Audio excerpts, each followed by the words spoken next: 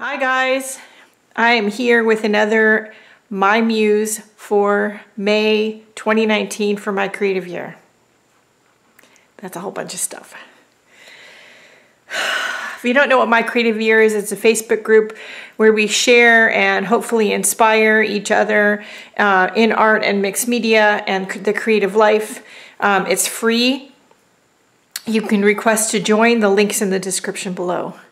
All of the other teachers and I put out a My Muse video once a month, what we're inspired by, what we're inspired to do, what is intriguing us at the moment.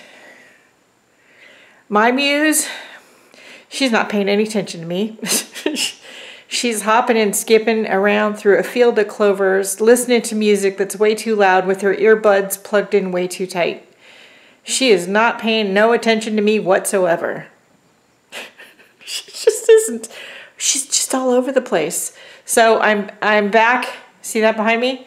I'm back to doing some resin. I've got a uh, sparkly rainbow tumbler uh, going behind me. It has got a second coat of resin on it and it's um, got to spin while it's drying because otherwise it gets lumpy and drippy. So that's working. Also experimenting with a few uh, resin uh, petri dish style uh, pours.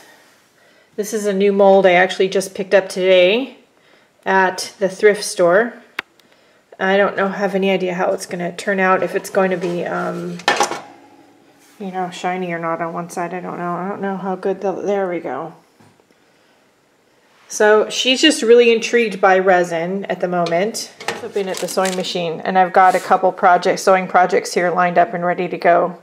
I, yeah, I don't know. Seems like in between journaling and painting and doing art, which I am still doing, and I do nightly drawings every day. If you want to see what I'm doing, you can follow me on social media uh, by clicking on my Linktree link in the description below, where you'll find a whole bunch of links and where you can find me on the internet.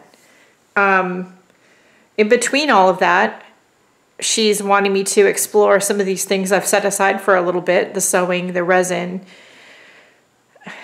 she's practically screaming in my ear, hello. So I am playing with resin again. I'm doing some sewing again. I did make some,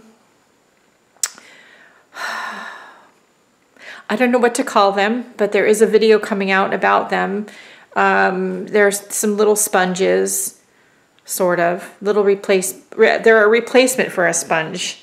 Um, I'm trying to be more mindful in the art room and in house and reduce waste. So I do have a little video coming out of how I made some um, something to replace the Scotch green and yellow kitchen scrubby sponge, which I love, um, but is plastic. It's not biodegradable. It's not compostable. It's, yeah. So there's a video coming out for that and I will link it in the description below but when you you'll you might see this before that video goes live because that video is not gonna like go out I don't think until June.